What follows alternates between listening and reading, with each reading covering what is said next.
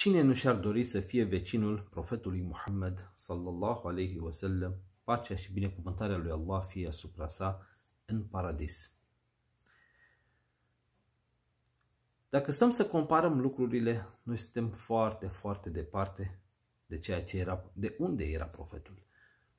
Nu vom ajunge niciodată să atingem statutul profetului, sallallahu alaihi wasallam, pentru a fi împreună cu el în paradis sau a fi vecin cu profetul în paradis sau a fi lângă el în paradis. Însă profetul Muhammad sallallahu alaihi wasallam ne-a vestit unele fapte pe care, dacă un credincios le pune în practică, profetul a promis că va fi vecinul lui în paradis. Noi știm foarte bine că sunt unele fapte foarte importante în islam și răsplata lor este diferită, este mai mare, este mai bună.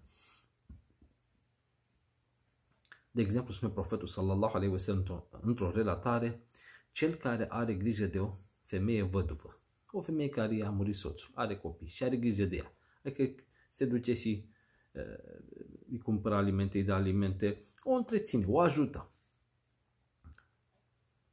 În ceea ce privește nenorocirea care s-a bătut asupra ei, spune profetul Muhammad sallallahu alaihi wasallam, cine întreține o văduvă, o femeie văduvă, este ca cel care luptă pe calea lui Allah. Iar cel care întreține, cel care are grijă, hm, întreține, are grijă de un orfan, hm, spune profetul sallallahu alaihi wasallam, enne eu, adică profetul, o kafil yetim și cel care are grijă și a asumat responsabilitatea unui orfan, fil jannati hakeza. Suntem în paradis, așa și arătat două degete, unul lângă altul. Suntem vecini în paradis.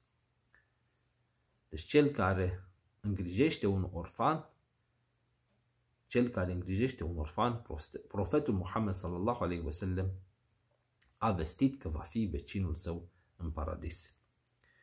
De aceea trebuie să vânăm aceste fapte bune care ne aduc răsplată mare, prin care să dobândim un statut important atât în această lume, dar mai ales în ziua de apoi și Allah.